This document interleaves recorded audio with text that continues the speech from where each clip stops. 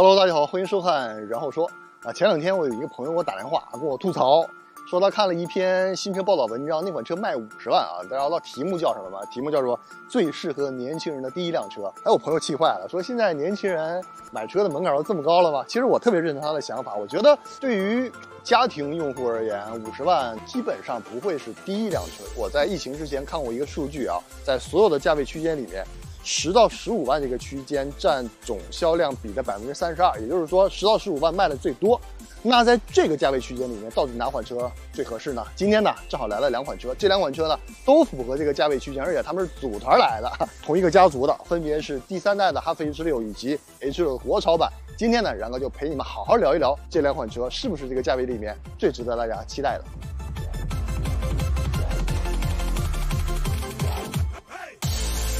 下面呢，咱们就先来说一说第三代的哈弗 H 六。第三代的哈弗 H 六呢，采用了星空哲学的设计理念。我们可以看到啊，中网这个位置非常有特点，它没有传统格栅的那种边界的限制，而且内部呢还是这种参数化的设计元素，特别的漂亮。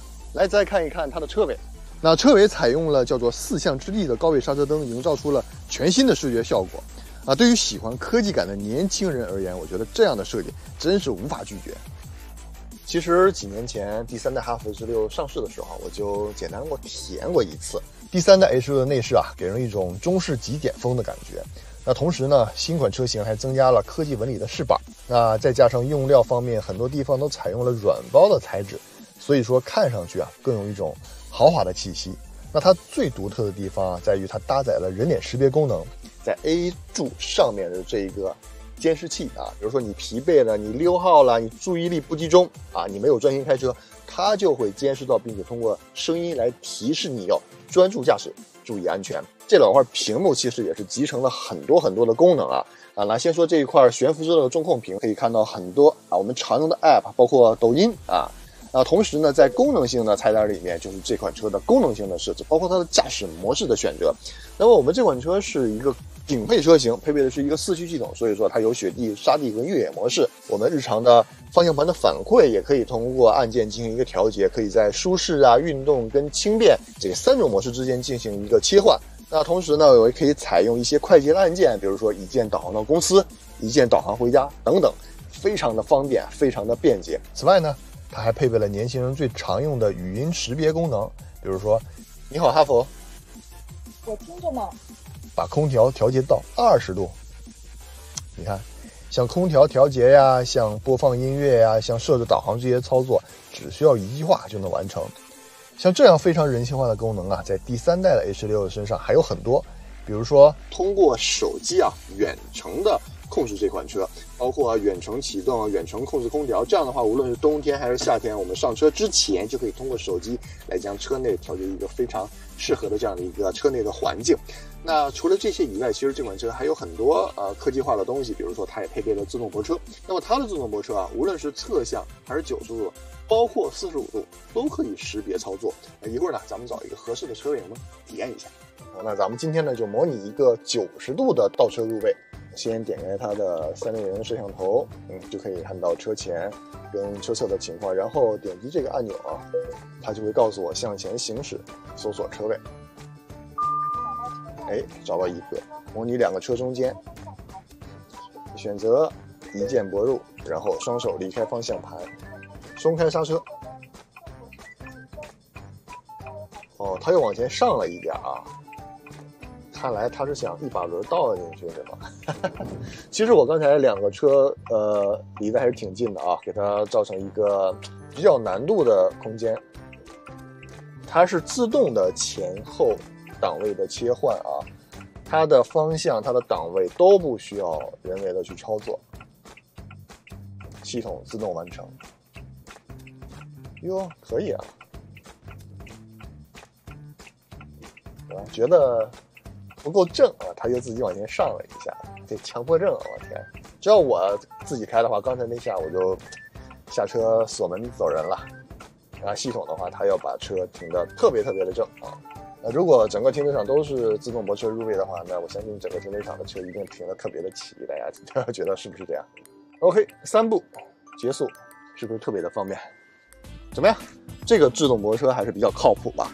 那除了自动泊车以外啊，这款车还配备了一个功能，我比较喜欢，就是它的一个自动倒车循迹功能。我前面有一个 S 弯，然后我们开进去看一看。哎呦，这个 S 弯真的挺急的啊！不过没关系啊，这款车配备了三六零的环影，我可以非常清晰的看到我的车的位置以及我左右车轮的角度。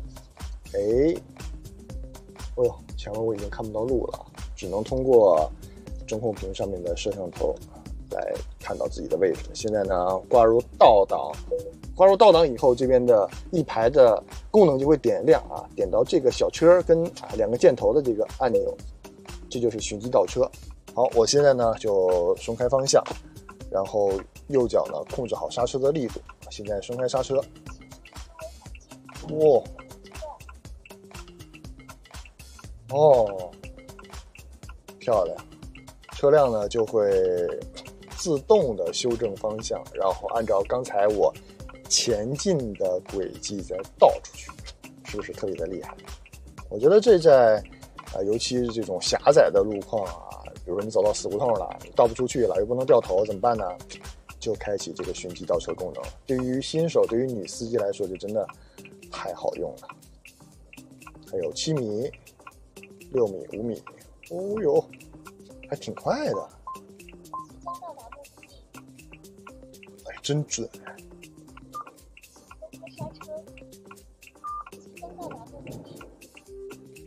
结束。然后我开始接管车辆，接管车辆，特别的好用。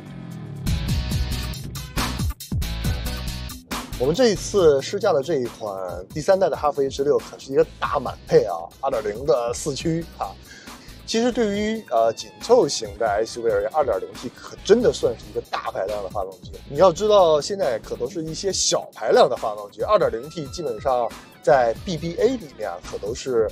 中级 SUV 的这样的一个标配啊，包括二线豪华品牌也是 2.0T 的这样的一个啊主流发动机。再说整个的动力表现啊，其实我觉得 H6 就像它的定位一样，它不是那样的过于激进的这样的一款紧凑型的 SUV 啊，也就是说它更偏向于实用，更偏向于家庭用户。所以说这几天试驾下来，我也能感受到，其实这款。啊，2.0T 加七档的十四的双离合变速箱，在起步的初段没有显得那么贼啊，相对来说比较保守一些。但是当它的速度起来以后，转速再往上走一些以后的动力的响就特别的快了。所以说这款车的呃，在日常使用的感受就是中段以及中后段的加速特别的得心应手啊，但是起步的时候要相对来说更加平和一些。那此外呢，我觉得第三代的 H6 在 NVH 方面下了不少功夫。那我们开起来能感受到，正常巡航的时候，车里面还是非常安静的。那这一点对于乘坐的人员来讲就非常重要了。而这款车配备的四驱系统啊，也让第三代的 H6 拥有更广泛的使用场景。那对于目前户外热的大环境来说啊，这款车真的太适合年轻人了。呃，聊完第三代的哈弗 H6，咱们再来聊一聊 H6 的国潮版。在 H6 国潮版的车型上，我们可以看到很多中国的经典设计元素，比如说龙腾式的 LED 大灯。还有凤羽流光式的尾灯，而前脸的格栅设计名字叫做松竹之势，听上去就很中国风。那这也体现了我们对于中国文化有着强烈的自豪感。谁说国外的月亮就一定圆呢？怎么样？你难道不觉得它也非常适合年轻人作为第一辆车吗？来，再看一看它的内饰。H 六国潮版的内饰啊，主打的是数字化的座舱。最直观的感受啊，就是十二点三英寸的全液晶仪表和十二点三英寸的互联智控屏。那这块互联智控屏啊，内置了腾讯的 TAI 的三点零的互联网智慧生态。那么它的功能性也很强大啊！点开屏幕你会发现，微信、爱奇艺、手机互联等这些功能啊，它都有啊。同时呢，二级菜单里面可以看到它的一些智慧生态的一些服务，包括智慧加油、智慧洗车。一点开以后，你就会搜索到离你最近的加油站哈，实时离你最近的洗车的地方，包括。停车场，要不说啊，最懂中国人的还是我们中国品牌。当你关上倒档啊，你会发现 H6 的国潮版还配备了360的全景影像，这项功能啊真的非常的实用，它能有效的避免视线盲区所带来的危险。这款车配备了十二个传感器啊，这些硬件设施保证了它能够达到 L 级别的自动驾驶辅助的功能，无论是车道保持啊、自适应巡航、交通标志识别等等，都能在国潮版的车型上体验到。那十万左右的售价，在一台合资 SUV 上只能给你配一个屏幕。而在 H6 的国潮版的车型上面呢，不仅能给你刚才我说的那些配置，甚至啊还有前排座椅的加热、方向盘加热等这样的一些配置。而且目前 H6 国潮版购置税全免，要我说啊，这车可真值。这一次拿到的 H6 的国潮版的这一款车啊，就也是一个 2.0T 的动力配置，啊，同样配备了一个七档的湿式的双离合的变速箱。这个 2.0T 真的，我觉得就算是一个高功率的发动机了。它的最大的啊马力达到了224匹啊，最大的扭矩达到了385牛米啊，紧凑型的 SUV 哦。那这款车的百公里加速成绩是7.6秒，对于年轻人来说啊，这个动力。肯定是有必要的。那在底盘方面呢，我觉得 H6 国潮版做的也是很有质感的。同时呢，它的悬架是相对来说比较舒适的，对于大部分的细碎的震动和起伏都处理得很到位，非常适合日常的用车场景。如今呢，汽车已经不简简单单是一个交通工具了。那对于成百上千万的家庭用户而言，汽车更像是一个家庭对于美好生活向往的一个缩影。那这个时候呢，家庭用户就会对一款车的要求变得更高，要更加好开，更加好看，配置更高，更加安全等等。那我身后的这两款哈弗 H 六的产品满足大家的需求吗？答案当然是肯定的。那么这两款车具有不同的个性化鲜明的特点。如果你对于新鲜事物感兴趣，对于时尚科技感更加的钟情，那么这一款第三代的哈弗 H 六一定满足你的口味。那如果你是一个行事稳健、作风不张扬的人，那么哈弗 H 六的国潮版一定符合你的口味。还是那句话啊，买车不要买别人口中的那辆车，而是买你眼中的那一辆。好了，感谢大家收看本期的然哥聊聊车，我们下期再见。